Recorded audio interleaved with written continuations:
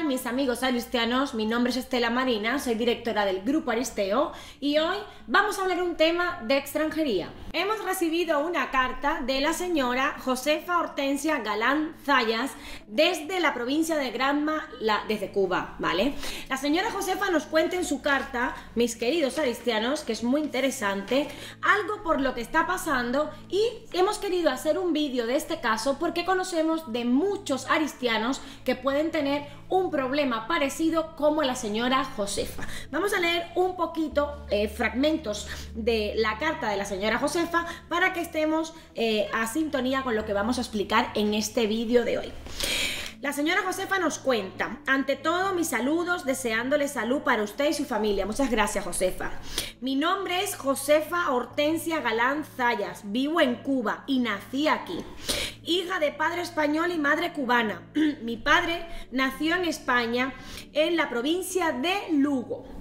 Solicité la recuperación de mi nacionalidad española en el año 2010 y no fue hasta el 2015 que se me reconoció después de un largo proceso de documentación. Cuando presenté al Departamento de Matrimonios de la Embajada de España en La Habana para poder legalizar mi matrimonio, me explicaron que no podía hacerse porque había tenido un matrimonio anterior en los años 1982 al 1991 y por tanto debía presentar un exequatur, documento emitido por una abogada de primera instancia española donde se me reconozca que soy divorciada. Vamos a poner una pausa, mis queridos cristianos, para hablar un poquito de eh, eh, la problemática de la señora eh, Josefa.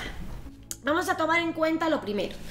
Los conceptos son muy importantes en materia jurídica y vamos a contaros qué cosa es un exequatur. Pues un exequatur es un procedimiento administrativo, un procedimiento jurídico donde se homologa eh, para ponérselos más fáciles y que lo entendamos, la sentencia de un país extranjero a España. Con lo cual lo que le están pidiendo a la señora Josefa es que como ha habido una sentencia de divorcio en Cuba de su matrimonio anterior entre el año 1982 y el año 1991, España para poder registrarle su nuevo matrimonio necesita una sentencia homologada dígase jurídicamente exequatur, para que pueda ella asentar el nuevo matrimonio en el registro civil consular.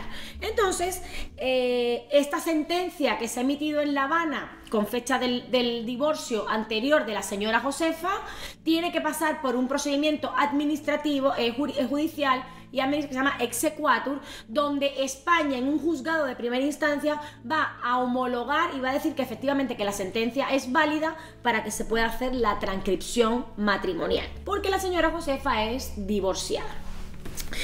Hasta aquí todo está claro. Vamos a seguir un poco al ritmo de la carta de la señora Josefa. En diferentes ocasiones he escrito solicitando ayuda porque nunca he viajado a España y como es de suponer, si no he viajado, ¿cómo voy a saber lo que tengo que hacer? En ese momento no tenía reconocida la nacionalidad española cuando me casé. Yo no conozco ningún familiar en España porque me quedé huérfana con cinco años. La respuesta que me han dado eh, siempre es que ha sido, ha sido siempre la misma, que soy ciudadana española de origen y contradictoriamente al solicitar el reconocimiento de la nacionalidad española para mi hijo, me plantean que no tiene derecho porque en el 2015 él era mayor de edad. Nació en el año 1985. Y si para reconocer y legalizar mi matrimonio yo tengo nacionalidad de nacimiento, como para mi hijo, solo me reconocen desde el año 2015. No es que mi hijo cuando nació tenía ya nacionalidad española, mi querida Josefa. Sinceramente tu pregunta es muy importante. ¿Vale? Pero ¿sabes qué pasa? Que una vez que uno recupera la nacionalidad española, se le cuenta la inscripción desde la fecha en que se hizo efectiva, ¿vale? No con carácter retroactivo. Evidentemente, si tu nacionalidad española se recuperó en el año 2015 y tu hijo ya era mayor de edad, con lo cual no vas a poder, eh, eh, no va a poder él presentar un expediente de opción porque no se ajusta a derecho. Es decir, es cierto que tú eres considerada española de origen, pero también es cierto que en el momento que se hace la transcripción de la recuperación de tu nacionalidad española, ya tu hijo era mayor de edad, con lo cual no va a aplicar a la nacionalidad por opción. Va a aplicar a otros procedimientos de extranjería, pero a la nacionalidad por opción no, ¿vale? Sin embargo, sí que eres considerada española de origen. Eso lo tienes que tener muy claro, Josefa, ¿vale? Dice, no he podido resolver ninguna de las dos situaciones. Y los tres seguimos sufriendo porque soñábamos con irnos a vivir a España, conocer el país de mis, eh, de mis abuelos y de mi padre y no he podido hacerlo. Mi interrogante es la siguiente. ¿Soy española de nacimiento para una cosa y para la otra no? ¿Cómo me pueden ayudar a legalizar mi matrimonio actual y reconocer la nacionalidad española de mi hijo? Por favor, anticipadamente le doy las gracias, mi querida Josefa. Tus dos preguntas. La primera, eh, como bien te expliqué anteriormente, no es que seas nacionalidad española para una cosa y para la otra no. Es que el reconocimiento de tu nacionalidad española viene desde el 2015. ¿Vale? Anteriormente a eso no te lo van a reconocer porque tú no naciste en el territorio español, ¿vale? Aunque eres hija de un español, ¿vale? Y tienes el derecho de sanguinis, no, la inscripción se hace desde 2015. Es un poco em, complicado, pero eso es lo que, se, lo que se ajusta a derecho, ¿vale? En el caso de tu hijo, él no va a poder optar a la nacionalidad española porque la normativa española establece que para que él lo pueda hacer, su mamá tenía que recuperado la nacionalidad española antes de que él fuera eh, mayor de edad y tú la recuperaste cuando él era mayor de edad, con lo cual tu hijo tendrá derecho a la residencia legal o bien sea por arraigo familiar, porque es hijo de una española de origen, o bien por el régimen comunitario cuando tú decidas emigrar a España eh, y trabajes y cotices y te establezcas en territorio español para que tu hijo pueda obtener la residencia comunitaria.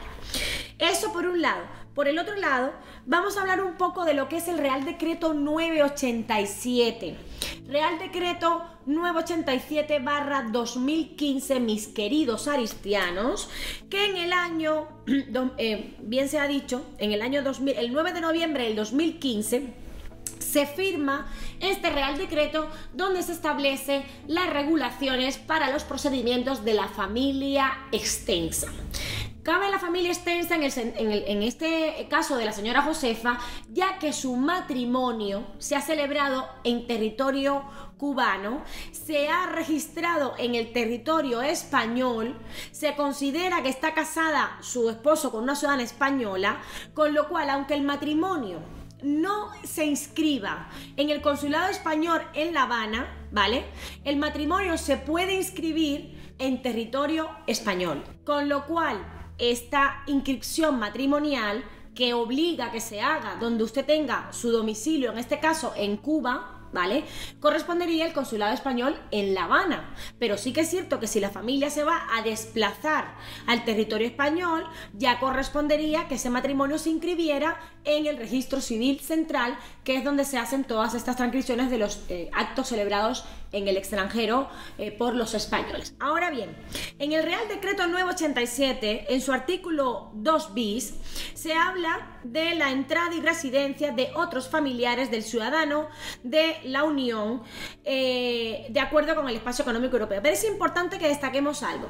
Mi querida Josefa, si usted es española, tiene pasaporte español y partida de nacimiento española, su hijo y su marido pueden aplicar perfectamente por el artículo 240, eh, por el Real Decreto 240 barra 2007, la familia eh, em, eh, la familia estricta, pero sí que es cierto que al el matrimonio no estar inscrito en el territorio español y celebrado en el extranjero, te aplican este Real Decreto que es el 987 barra 2015, que es la familia extensa. ¿Usted qué tiene que hacer? Usted tiene que dirigirse al consulado español en La Habana, solicitar su baja consular presentar su expediente de visado de su marido y de su hijo y decir, me marcho a España a vivir con mi marido y con mi hijo con su partida de matrimonio cubana legalizada tanto en el MINRE como el Consulado Español en La Habana. Legalizada porque existe un matrimonio civil. Usted no se puede volver a casar en España. Usted lo que va a hacer en España es transcribir ese matrimonio, pero usted no se va a volver a casar.